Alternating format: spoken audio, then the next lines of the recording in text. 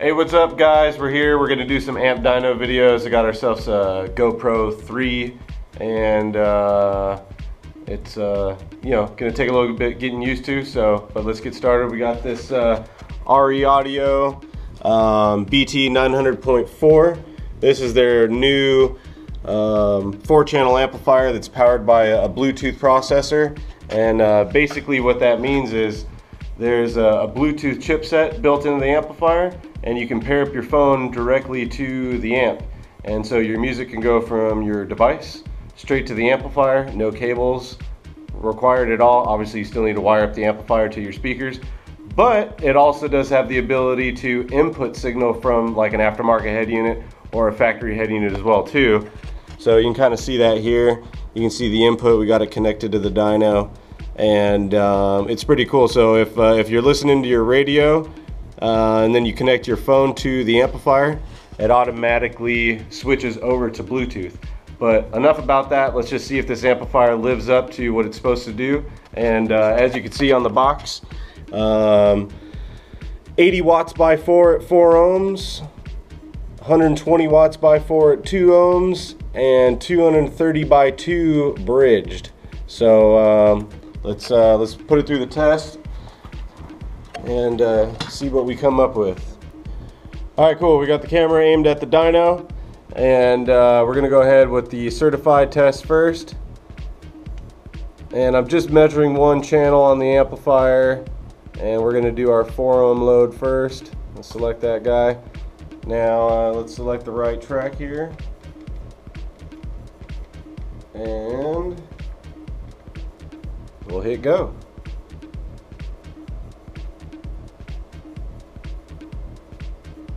And she's off. You can see our voltage to the right, and you can see the power climbing on the left there. Cool, we got 95 watts for the one channel. Now I know if you load down the channels on the amplifier, you may get slightly different results. I can't completely control the battery bank that we have. Obviously you can see it's 14.87 volts, slightly higher than what the manufacturer states at 14.4.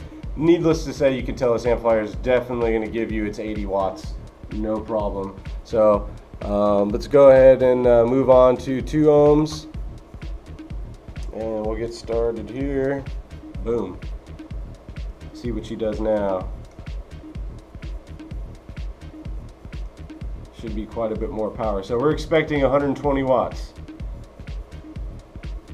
And we definitely got it.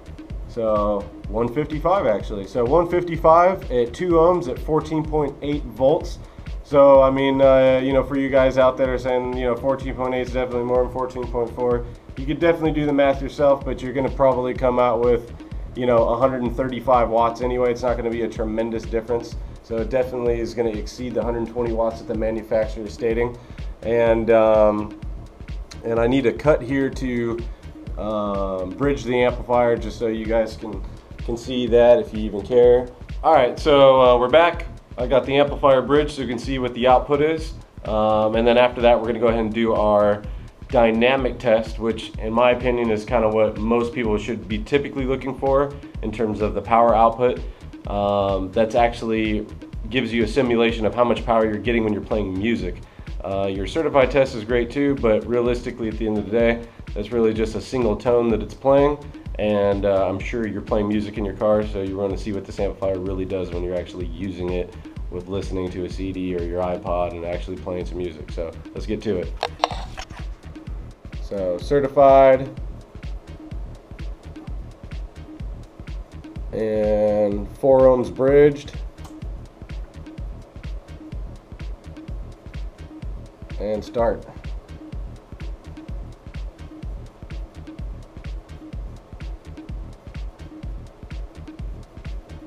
And we're creeping up. I'm sure we're going to get over 230 watts since everything else did so far. Perfect, 245 watts, 14.77 volts. So uh, we definitely know we're for sure going to at least get the rated manufacturer output at 230 at 14.4. So uh, being 14.7, slightly above, is going to give us another 10, 15 watts. So we're we're right on par with uh, with what uh, RE Audio is actually stating on this amplifier. So I'm gonna go ahead and kind of work backwards real quick. Since this is already bridged right now, I'm gonna go ahead and go to our dynamic test. Let's get exit out of here. And we'll go to dynamic power run. And we're still gonna do uh, bridged 4 ohms. And we're gonna see what we're gonna get out of it this way. So this is representing music.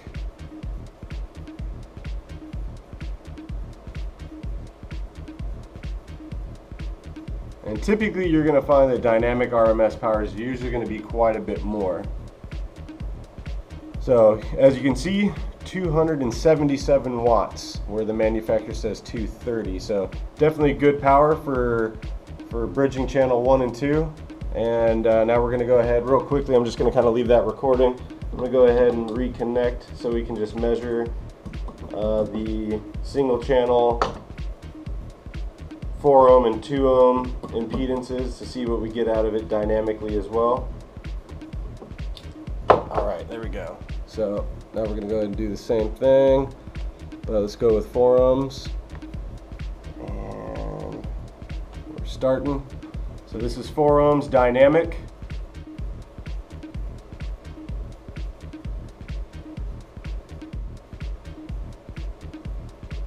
Ninety-seven, still pretty good. So, all right. So anyway, um, so now uh, let's go ahead and do our uh, 2 ohm dynamic. And we're off.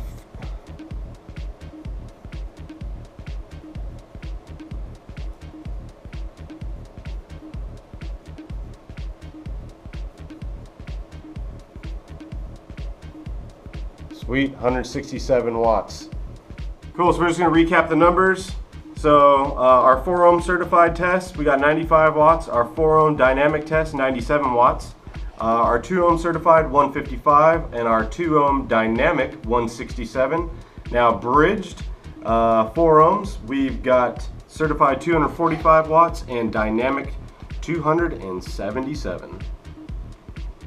As you can see, the amplifier definitely did perform and uh, and probably exceed by a little bit what the manufacturer states uh, on the box. I think the thing to take home with this amplifier is its unique uh, Bluetooth audio input. Uh, the marketing team and I actually a couple weeks ago had an opportunity just for the hell of it because it was pretty cool.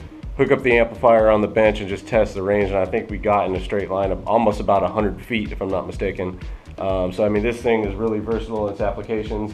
You could use it in a boat, um, you could use it in a car. I mean, you could use it anywhere. So I'm Alan with Sonic Electronix. Thanks for watching. And this is the RE Audio BT 900.4.